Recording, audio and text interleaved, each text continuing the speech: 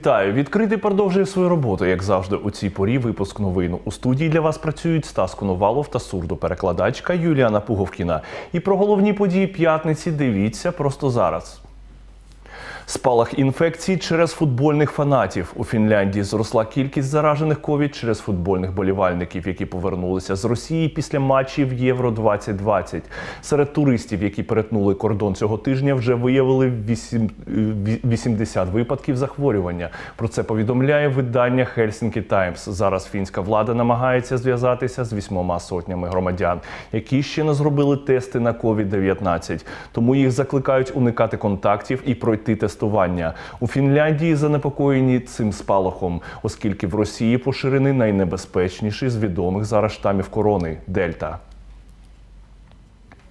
На відміну від Фінляндії, в Україні ситуація з поширенням захворювання поки стабільна. За останню добу зафіксували майже 900 хворих на ковід. Найбільша кількість інфікованих у Запорізькій, Дніпропетровській, Харківській, Київській областях та столиці. Водночас подолали недугу майже 2,5 тисячі українців.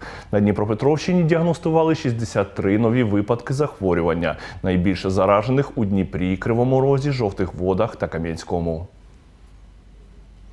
На вихідних у Дніпрі на базі амбулаторій відкриються центри масової вакцинації від COVID-19. Про це повідомили в департаменті охорони здоров'я населення Дніпровської міськради. Їхні адреси ви зараз бачите на ваших екранах. У суботу імунізуватимуть містян на вулицях Столярова, Великій Діївській, Софії Ковалевської, 20-річчя перемоги футбольній та проспекті Богдана Хмельницького.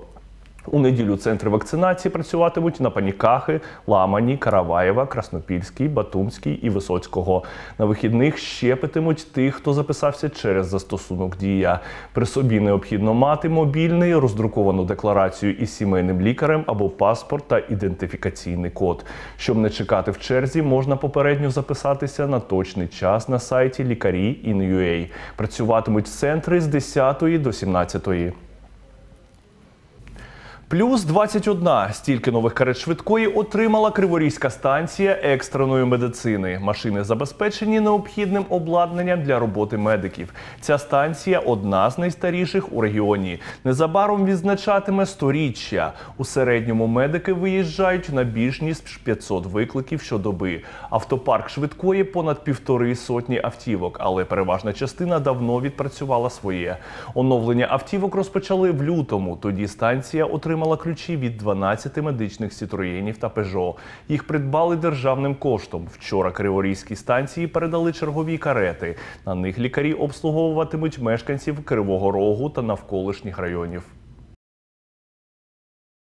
Есть э, э, инфузомат, есть э, устройство для подогрева крови, ну не только крови, а растворов, аппарат для снятия электрокардиограммы, э, э, э, Аппараты для вентиляции легких, кислородная аппаратура, кресло-каталка для перевозки больных, непосредственно носилки для транспортировки больных, э, шины для травм, когда нужно фиксировать конечности травмированные. Все есть достаточно. Для нашей работы все есть. 21 год. 21 год оказался, вопреки всем ожиданиям, достаточно таки урожайным. Почему? Потому что в, в феврале месяце мы получили 12 машин от депутатского корпуса.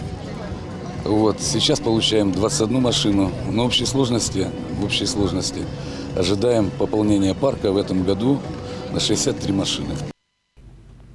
Нове обладнання на службі людям. Відділення торакальної хірургії Дніпровської лікарні номер 4 отримало сучасне устаткування 3D-ендоскоп.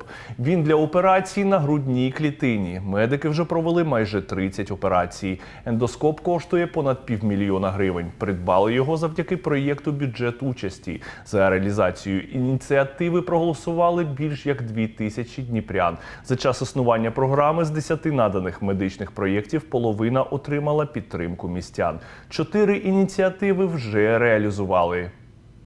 Своевременная диагностика – это очень большой как бы, залог успеха да, в лечении данной болезни. Я бы так и спросил, вот скажите, какое оборудование больше всего помогло бы там вовремя диагностировать и проводить качественные операции. Вот он мне подсказал, что есть такое оборудование, как эндоскоп, благодаря которому можно не делать, там, грубо говоря, разрез на всю грудную клетку, а сделать маленькие две дырочки и вывести это все на камеру. И тогда врач как бы сможет спокойно и без э, болезненно для пациента проводить очень сложные операции. Вот эта камера, которая сейчас имеет радугу, она сейчас не использована, но постоянно мы используем ее для операций, которые проводятся у нас в отделении. Это ну, приблизительно около более 200 операций в год. Безпека для водіїв і пішоходів у Кам'янському на майдані героїв встановили новий світлофорний об'єкт. Він найбільший у місті. Тепер кам'янчани не перебігатимуть навмання жвави у середмісті перехрестя, ризикуючи потрапити під колеса. Деталі у наступному сюжеті. У Кам'янському на центральній площі міста світлофора не було десятиліттями, кажуть місцеві. бігли поперед транспорту. І е, водії повинні були притримувати важелі, щоб не задавити пішохода. Тяжело было без светофоров. Ну, много видел, видела правонарушений. Костянтин Шадрін їздить за кермом. Каже, раніше побоювався сюди сунутися, адже тут був жвавий, некерований рух і автівок, і пішоходів. Тепер каже, зі світлофорами на майдані героїв стало безпечніше. Это хорошо влияет на дорогу, и пешеходам хорошо, и водителям приятно. Движение ну, без аварий, в принципе. Ці світлофори працюватимуть за будь-якої погоди, обіцяє очільник Кам'янського комунального підприємства «Міськсвітло Плюс» Валерій Бережний. Это сделано с целью, чтобы обезопасить наших пешеходов от хаотичного движения автотранспорта. Проделана и ночная, и дневная большая работа. Ну, надеюсь, всем будет полезно.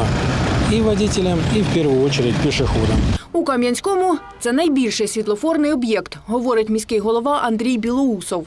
Он состоит из 15 транспортных светофоров, 3 трамвайных и 12 пешеходных светофоров, а также из 12 специальных озвучивающих устройств, которые озвучивают работу пешеходных светофоров для незрячих жителей. Недавно, буквально неделю назад, мы также открыли новый светофорный объект на перекрестке улицы Елизаветовской, так называемой пьяной дороги. У Кам'янському і надалі планують встановлювати світлофори. На черзі перехрестя поблизу Димитрівського ринку та проспекту Аношкіна. Галина Ізмайлова, Василь Самовар, Open News, телеканал відкритий.